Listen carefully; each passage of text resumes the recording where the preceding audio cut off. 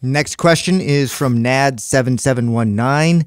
Is it true Nads. that the calf muscle is mostly determined by genetics and is not as trainable as other muscles in terms of increasing size? Half that's true. You know what's funny about that one? So I, I think about this sometimes with calves, and I'm going to be very honest, okay? Because I talk about, oh, my calves don't respond like the rest of my body. Here's the truth of all the body parts that I've trained in myself, I've trained my calves the least, straight up, 100%. I'm the most consistent with other body parts of my body and my calves. I've always, if I've neglected anything, it's my, and I believe this to be true for most people, or more especially most men who work out in the gym. So it's hard to say. Now, there's the argument for genetics because we walk around a lot. So the calves are used to at least doing something. So they may require more volume and work. Maybe they're, they're comprised of more slow twitch muscle fibers for stamina and endurance. I've definitely known people to have big calves, and I've known other people who train their calves like crazy and, and get little development. Um, but it's hard to say because I don't know very many people that train their calves as consistently as they train their biceps. It's not. It's usually not the muscle you start training when you start working out. Yeah, but uh, so here's where I agree with you. Uh, it's it's neglected as many, and it's a muscle. It can be developed. So and uh, and I when I was getting into competing like the, I never put the the effort towards training my calves like I did then, and I a lot. I put obviously I'm on stage in my shorts, even though they don't they don't. Uh, uh, um, judge a lot of your calves, they, they still see them. So if they if you're up there and you have this impressive upper body and you have no calves whatsoever, you'll get dock points. I mean, you're just you, if that if it comes down to that, that will make the difference, right? Me and another guy who look exactly the same at top, but then I have no calves, I'm going to get docked. So it was 100% of focus for me, and it was already a weak point going in.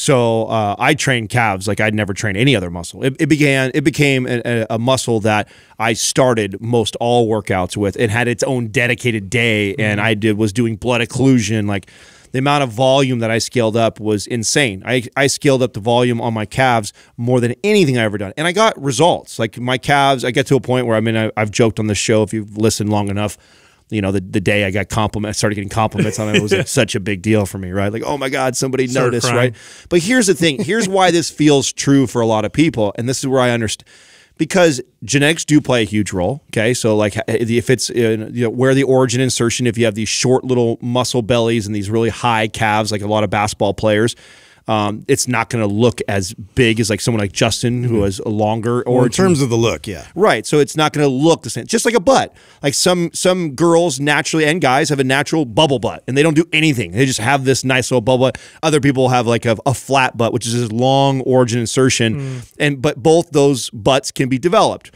Okay, the reason why I think the calves feel this way, because unlike the butt, which is a massive muscle, the calf is such a small muscle. Mm. It's one of the, it's like forearms, where you could sit here and talk all day about putting all this attention in your forearms, and you can develop them, but they're never going to feel impressive like a chest or a back or quads. They're just a small muscle. So I think part of it is true what you're saying that most people it's because they we just like the attention. That 100% was me as a teenage boy.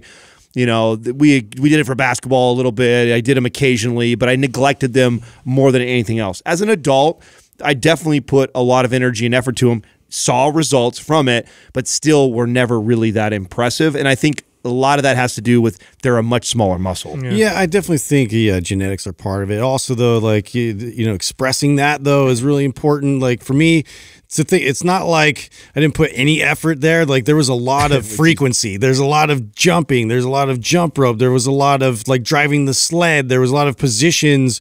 You know, being a linebacker where you can't you can't put your heels on the ground ever. I was trained to do that, and I was also trained to to do front squats and stuff with my heels raised because back then it you know it applied towards the sport. But uh, there was a lot of, of frequency and there was a lot of volume. Uh, you know, for me over a, a huge span of time. So this is like you know at least over a decade of just like sports in general where I'm just like constantly sprinting. I'm driving things and I'm always on the balls of my feet. That was like definitely something stressed a lot uh, from coaches when I was in technique of different positions where I never like really had my heels down flat. And so this to to also like go back to like the deadlift thing was so difficult of a transition for me like being like super grounded and like grounding in my uh you know my heels because that was just like foreign to me